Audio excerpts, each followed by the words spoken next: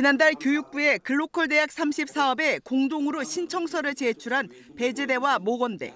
공동 추진일에 발족한 지 한 달도 채 안 돼 이번엔 완전 통합이라는 카드를 꺼내 들었습니다.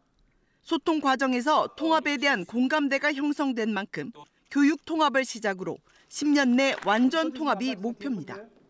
서로 다른 법인, 사립대학 간의 에, 법인의 어떤 통합의 첫 번째 아주 모델로서 한국 교육계에 새로운 새바람을 일으키고자 하는 그런 목표하에 두 대학이 근거리에 있는 데다 같은 기독교계 재단인 점 등이 유리하게 작용할 것으로 보고 나아가 수도권에 있는 대학까지도 통합의 범위를 넓히겠다는 구상을 밝혔습니다. 무엇보다 교육의 질을 높이기 위해 기존 캠퍼스를 역할과 기능에 따라 재편하고 자치단체와 기업, 출연연회도 개방할 계획입니다. 그동안 국립대나 같은 사학재단 안에서 통합을 이룬 사례는 있지만 다른 사학재단에서 통합을 시도하거나 성공한 선례는 없습니다.